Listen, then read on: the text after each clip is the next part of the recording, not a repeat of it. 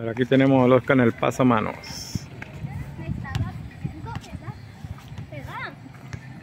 Estamos grabando a Oscar en el pasamanos que hace trucos.